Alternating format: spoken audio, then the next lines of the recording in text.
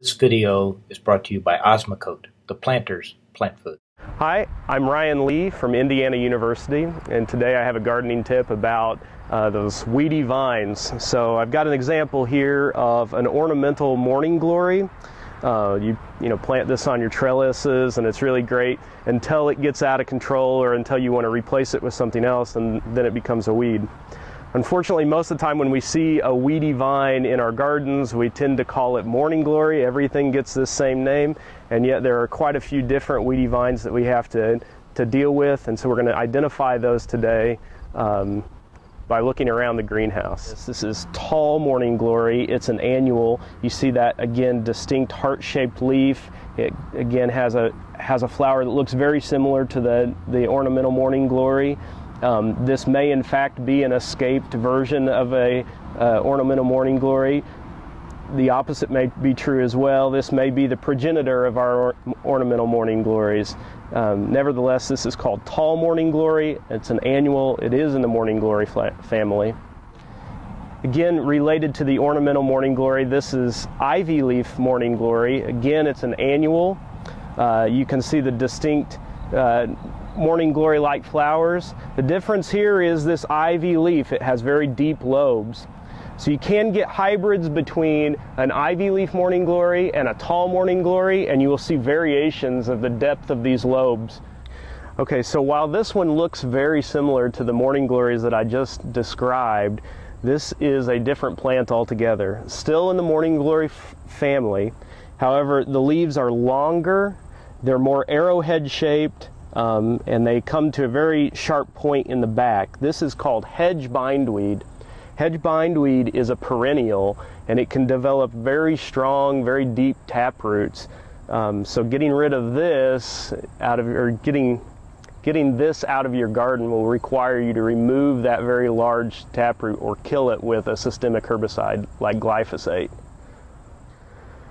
Okay, so again, another another weedy vine that looks very similar to um, the hedge bindweed and field bindweed is this but this again is not a uh, not in the morning glory family. In fact this is in the smartweed family. This is called wild buckwheat.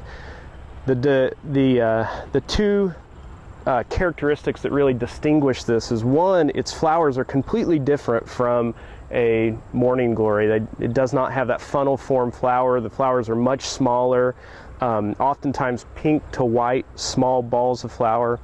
The other thing is a characteristic of the smartweed family, and that is a small ring of uh, tissue, a membranous tissue that surrounds, kind of clasps around the uh, stem right where the petal attaches. That's called an ochrea, and it's it's a characteristic of the smartweed family, and it's how you can distinguish this as being wild buckwheat. While this weed looks very similar to the weeds in the morning glory family that we just looked at, this one is in a completely different family. This is called honeyvine milkweed. It's in the milkweed family. The distinction is that the leaves come off or arranged oppositely. So they're two ranked. At every node, there is two leaves coming off. They have a heart-shaped uh, leaf.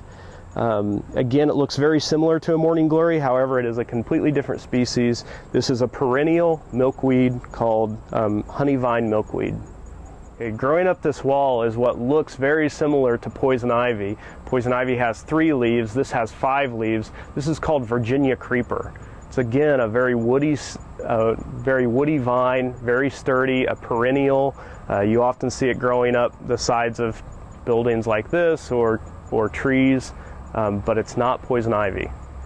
Uh, this is the one that I don't want to touch. This looks very similar to Virginia creeper. However, this one has three leaves. This is poison ivy. Poison ivy is a perennial, woody stem, very hardy, very difficult to get rid of. Uh, this has been a gardening tip about weedy vine identification.